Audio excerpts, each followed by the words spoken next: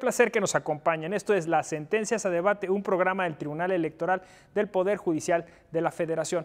Hoy hablaremos del recurso de revisión del procedimiento especial sancionador 72-2019, donde no hubo falta de la alcaldesa de Puebla en la Feria del Libro 2019. Acompáñenos.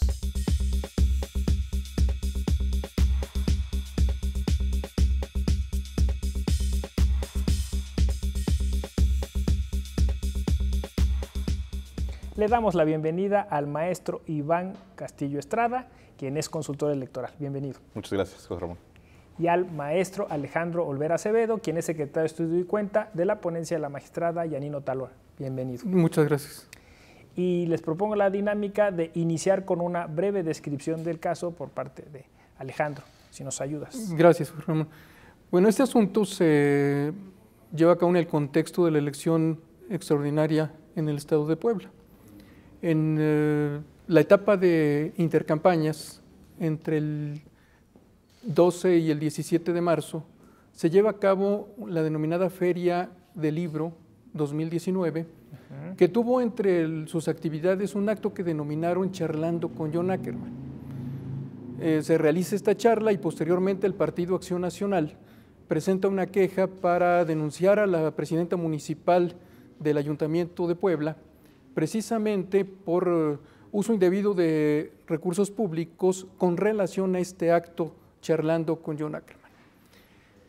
La sala regional especializada de este tribunal electoral determinó que era inexistente la infracción atribuida a la presidenta municipal porque esencialmente las manifestaciones que hizo John Ackerman en esta charla estaban protegidas por la libertad de expresión y porque el acto se había desarrollado en un contexto de ser un evento cultural al que asistieron diversas personalidades con diversos puntos de vista y las personas pudieron acudir a presenciar, intercambiar conocimientos, su experiencia con todos estos expositores. A partir de estos dos elementos esenciales es que la sala especializada determina que es inexistente la infracción atribuida. El Partido Acción Nacional controvierte esta determinación de la sala especializada a través del recurso de revisión del procedimiento especial sancionador.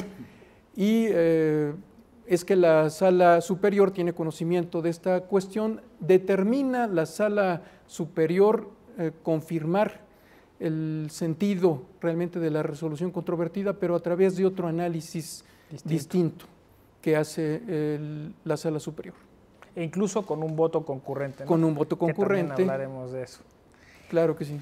Eh, Iván, eh, a mí me parece muy interesante este, este asunto porque como ya nos lo menciona Alejandro, pues tiene que ver con un acto realizado en una intercampaña que al parecer es un, acto público y cultural.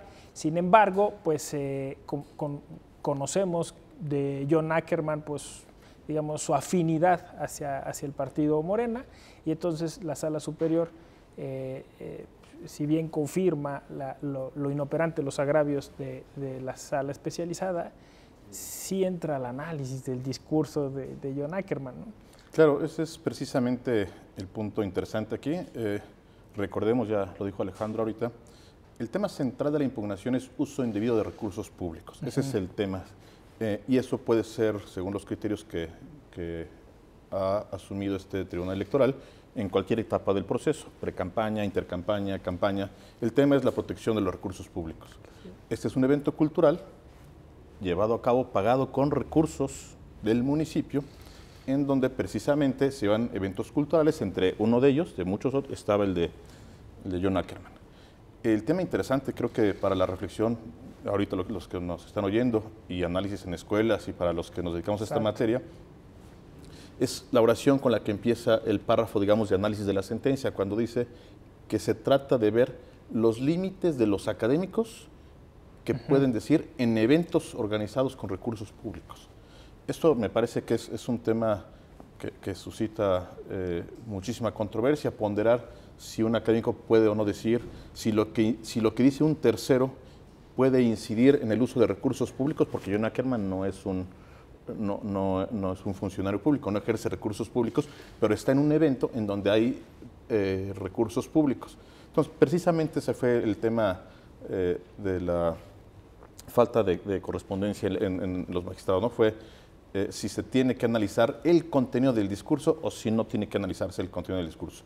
Entonces creo que entran temas libertad de expresión, censura previa, que creo que, es son temas interesantes. Luego, bueno, también el PAN controvierte, dice que, que la sala especializada no fundamentó, eh, también nos, nos comenta algún o, otro agravio era que era incoherente la sentencia, ¿no? Sí, son algunos elementos. El primero de los agravios que hace valer es eh, la falta de fundamentación y motivación. Obviamente, del análisis que se hace a la sentencia emitida por la sala especializada, pues se advierte que eh, esta sala eh, expropuso los fundamentos y las razones que eran aplicables al caso.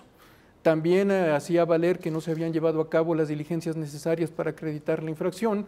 Obviamente, como comentaban, se declaró inoperante porque el partido político pues, no exponía con precisión cuáles eran las diligencias que se debieron haber llevado a cabo, adicionales a las que llevó a cabo el, órgano tramitador del Instituto Nacional Electoral, que fueron diversas, desde las certificaciones de todos eh, los videos del, evento, eh, diversas publicaciones en periódicos, se requirió información a la presidenta municipal, se requirió información a las asociaciones que intervinieron en, esta, en la realización de esta fiesta del libro 2019, porque fue organizado por la presidencia municipal, por el Instituto Municipal de Arte y Cultura y por dos asociaciones civiles.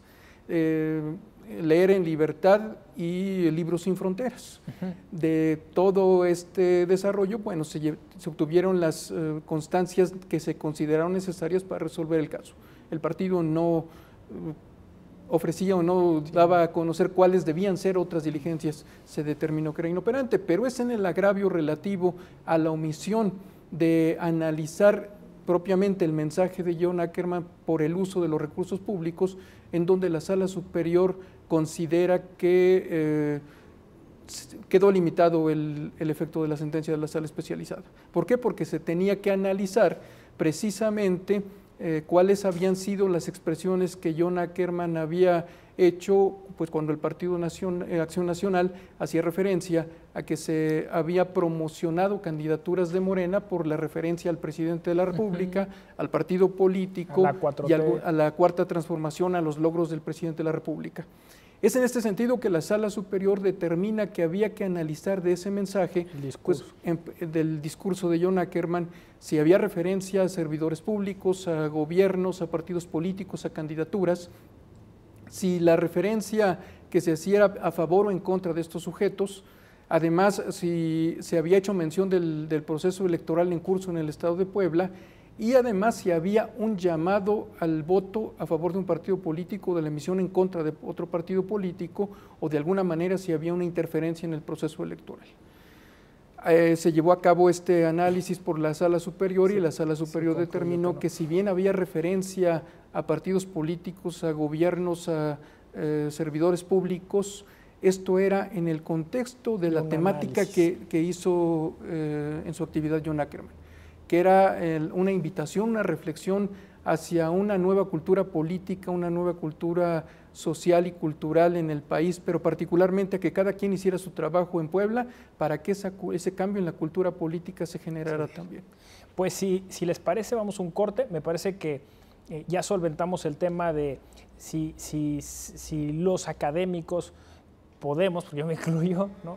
en algún momento expresar nuestras opiniones, nuestro análisis sobre ciertos este, procesos políticos, si se hace con fondos públicos dentro de una campaña, o, eh, qué, qué, repercusión tendría, pero queda el asunto este, ¿no? ¿Debería la sala superior analizar puntualmente el o sea, lo, dicho eh, exactamente, porque es lo que el voto concurrente discrepa, ¿no? Este, dicen ellos, quizá fue demasiado, porque pues, la libertad de expresión es esa, ¿no? Que cada quien eh, exprese lo que opina y después este, el, ya el electorado pues, haga un criterio.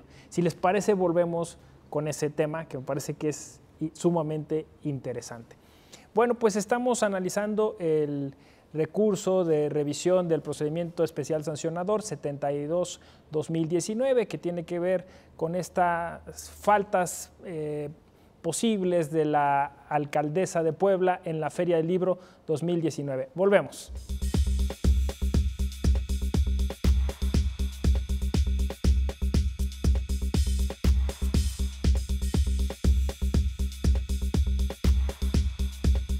En la Escuela Judicial Electoral te damos la oportunidad de consolidarte en el mundo laboral y actualizarte en la materia electoral. Aquí, los talleres, diplomados, la especialidad, maestrías y el doctorado son gratuitos. Contamos con modalidades presencial o a distancia y nuestras actividades cubren todo el territorio nacional. Escríbenos a eje.te.gov.mx. Tribunal Electoral del Poder Judicial de la Federación. Justicia que da certeza a la democracia.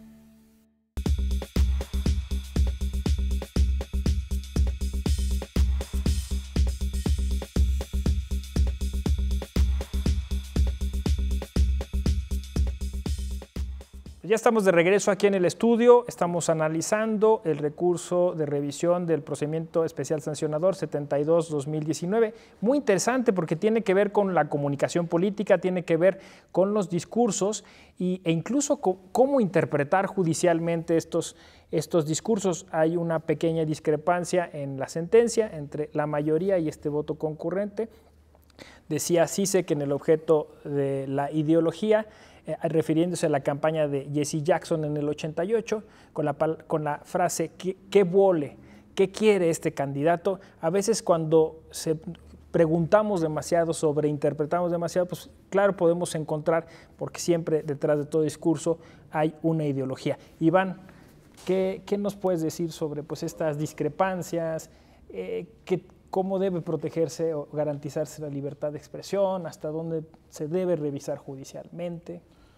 Pues, eh, precisamente el punto, me parece, eh, más trascendente de la sentencia es uno que en, la sentencia, en la resolución que fue aprobada por mayoría, por ejemplo, eh, se declaró como inoperante. Es importante distinguir entre inoperante e infundado, sobre todo para quienes no, no, están familiarizados con este lenguaje. Inoperante es que no se le da la razón al actor, al que presentó la demanda, pero sin entrar al fondo de sus argumentos. No obstante, esto es lo que en la sentencia nos parece que, está en el, limbo porque el voto concurrente sí lo toca. ¿A qué me refiero?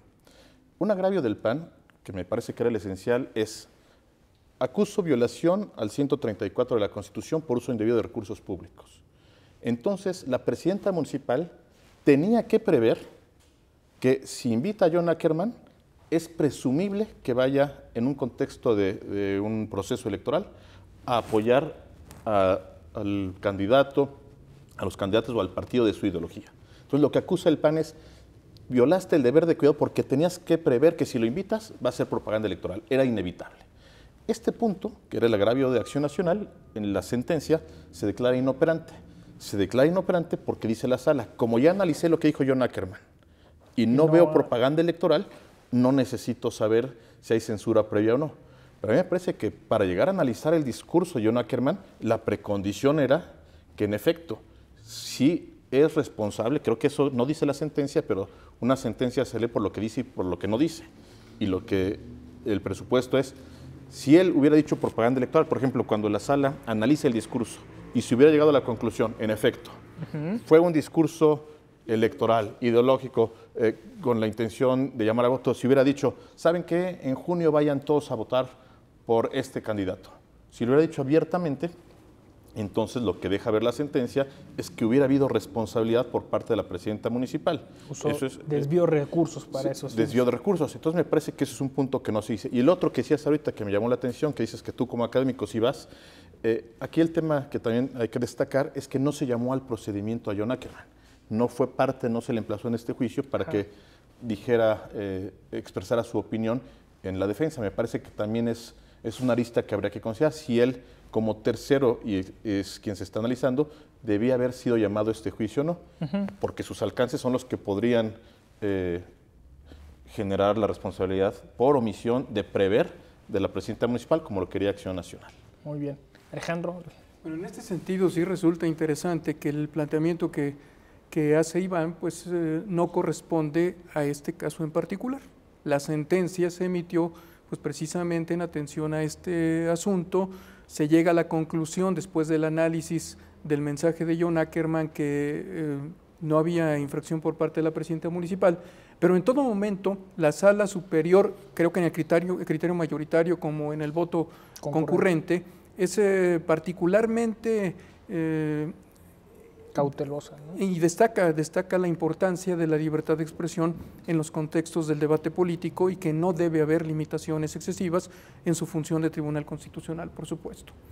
Pero además queda claro en, en este sentido, porque es interesante este punto que comenta Iván, que el análisis que se hace llega a la conclusión, o cuando menos se alcanzan a advertir dos elementos. Uno, que voy a analizar los, eh, el, el mensaje que emita algún académico, pero por otra parte tendrían también que acreditarse que hubiera algún acuerdo entre el servidor público y aquel académico para lo que tendría que decir. Sí, es proselitismo. alguna cuestión, tendría que quedar acreditado este elemento. Ya, ya, sí. No solo en el análisis del mensaje, sino se dice, por las particularidades del asunto, pues que en, este caso no está acreditado tampoco que exista este otro elemento de vinculación entre el servidor público y el académico en un acto cultural. Pero en el agravio que se declara inoperante con relación a la previsión que debió tener la presidenta municipal según el Partido Acción Nacional, pues también se dice, si hemos analizado que el mensaje de John Ackerman está pegado a derecho y está protegido por su libertad de expresión, hacer lo que el partido político quería, es decir, que la presidenta municipal tuviera esa previsión, pues resultaría realmente una limitación excesiva. En otras circunstancias, ya no en el caso que estamos analizando, de haberse presentado un mensaje directo que vayan a votar el día de la jornada electoral, creo que desde, desde que se presentara la denuncia, la autoridad tramitadora del Instituto Nacional Electoral tendría que llamar, aquí sí, al, al, académico para determinar la responsabilidad, en su caso, del servidor público. Estaríamos ante una circunstancia distinta. ¿Qué otra circunstancia eh, se presenta en este caso? El partido político tampoco controvierte varias de las consideraciones de la, de la sala especializada. Mm. Entre estas, cómo se organizó la feria del libro en, Puebla, coorganizada entre el Instituto Municipal de Arquitectura, la Presidencia Municipal y dos de las asociaciones. Tampoco, tampoco controvierte que fue una de las asociaciones la que invitó a John Ackerman a, participar. Ah, y tampoco controvierte que manifestó esta asociación que John Ackerman no recibió pago o remuneración alguna por la plática que, impartió. Entonces, son las circunstancias particulares de este caso. Creo que sí resulta relevante que la sala sigue destacando que la libertad de expresión es un elemento fundamental para el discurso político, pero pueden presentarse todas estas situaciones. Una inquietud que se manifestó por algunos de los magistrados integrantes de la, de la mayoría, del criterio mayoritario, y qué va a pasar si empiezan a proliferar actos académicos con un trasfondo un sesgo político ideológico. Es, es la otra situación a la que nos podríamos también enfrentar.